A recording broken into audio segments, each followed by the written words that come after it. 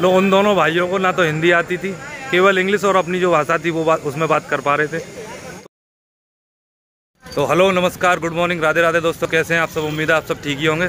तो दोस्तों, हमारे यूट्यूब चैनल मनोज फौजी ब्लॉग्स पर और एक नई वीडियो में आप सभी का बहुत बहुत स्वागत है। आज दिन है शुक्रवार का और आज की डेट है चौबीस नौ दो हज़ार इक्कीस, सुबह के बजे हैं अभी आठ। भाई साहब, हम खड़े हैं इस वक्त द्वारकाधीश मंदिर के पास, यहाँ से सौ मीटर पीछे ही। द्वारकाधीश मंदिर और ये नीचे मेरे पीछे जम जमुना पैलेस धर्मशाला है, पहले ये हवेली हुआ करती थी। अब इसको धर्मशाला बना दिया है।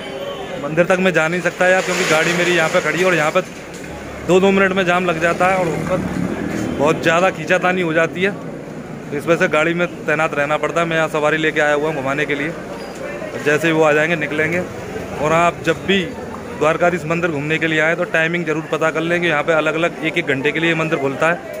एक घंटे खुलेगा, फिर एक घंटे बाद बंद हो जाता है। तो जब भी आप आओ तो पहले आप टाइमिंग ज़रूर पता कर लेना यहाँ आने के लिए। ऐसा मैं और मम्मी जा रहे हैं राशन लेने के लिए। दोपहर में आ गया था मैं घर आराम करने के लिए, घर में आराम मिलता नहीं है मेरे को। हुआ ऐसा था कि हम पहले ही गए थे, फ़ोन आया था राशन वाले का, कि भाई साहब, राशन ले जाओ, राशन ख़त्म होने वाला है। लेकिन जब पहुँचे, जब तक हो गए थे लेट तो वो भाई चला गया था खाना पीना खाने के लिए। अब उसका दोबारा से फ़ोन आया है, वो आ गया वापस दुकान पे, बोल रहा है कि राशन ले जाओ आप भीड़ भाड़ है नहीं ऐसे में। तो मैं और मम्मी जा रहे हैं राशन लेने के लिए। तो ये मम्मी आ चुके हैं राशन लेके, हम राशन की दुकान पे थे। अपना राशन मिल गया। अब निकल रहे हैं घर। सब शाम के बजे साढ़े छः मैं लगभग डेढ़ घंटे पहले आया था मथुरा में। सॉरी रेलवे स्टेशन में लगभग डेढ़ घंटे पहले स्टेशन पर आया था। और तब से लेके अभी तक खड़ा ही हुआ हूँ। कोई काम नहीं मिला। आज एक डेढ़ घंटा जो भी टाइम पास हुआ है वो आपस में बतराते हुए बातें करते हुए निकल गया। और एक एक करके दोस्त भी सारे से निकल लिए अब। काम नहीं है तो सब जा रहे हैं धीरे धीरे करके घर। मैं भी थोड़ी देर में निकलूँगा। और आज यार धूप बहुत अच्छी निकल रही थी, सुबह से धूप थी। दोपहर होते होते आज फिर बारिश हो गई।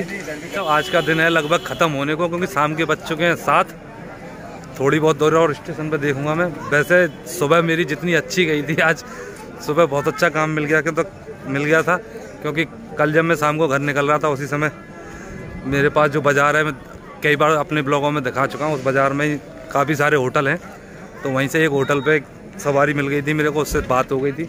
चार सौ रुपये में उसे मथुरा और मथुरा के दोनों मंदिर और वृंदावन ड्रॉप करना था, मंदिर घुमा के। तो सुबह उन्हें उठाया मैंने, थोड़ी सी क्लिप इसमें द्वारकाधीश मंदिर की डाली हुई है, जब मैं द्वारकाधीश लेके गया था उन्हें सुबह।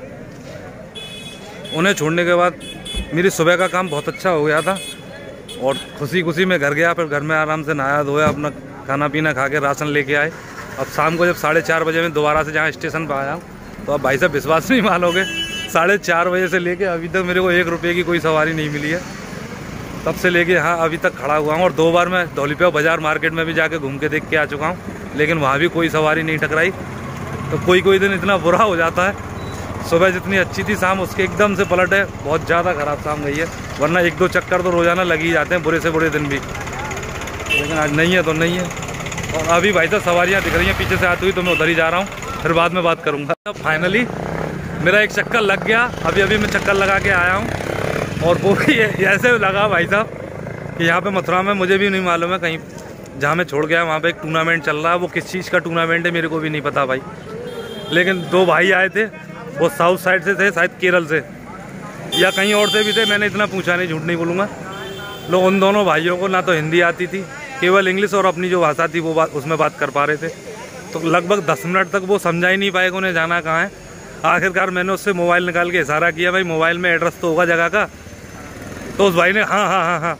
जब उसने निकाल के एड्रेस दिखाया तो पता चला उन्हें कहाँ जाना है। तो उनको लेके गया, उनको छोड़ के आया। मेरा एक चक्कर लग गया भाई, जो शाम के टाइम से जो शिकायत थी, वो शिकायत दूर हो गई और इतनी मेहनत करनी पड़ी उससे एक चक्कर के लिए। पंद्रह मिनट उनसे मूड मारना पड़ा। पंद्रह मिनट तक मूड मारने के बाद जब समझ में आया कि उन्हें जाना कहाँ है, उसके बाद छोड़ के आया हूँ भाई। तो अब शाम हो गई चुकी है। लगभग अब आठ बजने को हैं। हम भी निकल रहे हैं अपने घर के लिए। तो चलिए दोस्तों, घर जाके आप, घर पहुँच के मिलते हैं आपसे। घर जाके ही बात करेंगे।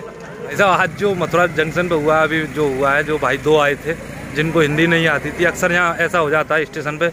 कई बार फोनर्स भी आ जाते हैं। तो बात करने में हमें भी दिक्कत होती है कि हम इतने ज़्यादा पढ़े लिखे हैं नहीं भाई। इंग्लिश समझते नहीं हैं। और जो लोकल से अलग भाषा हो जाती है, वो भी काफ़ी समझने में दिक्कत होती है।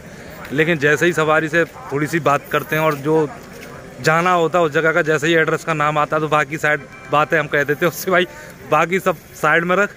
तूने बताया इस जगह जाने की, इस जगह छोड़ देंगे, यहाँ के इतने पैसे अब बता तू चलना है कि नहीं चलना।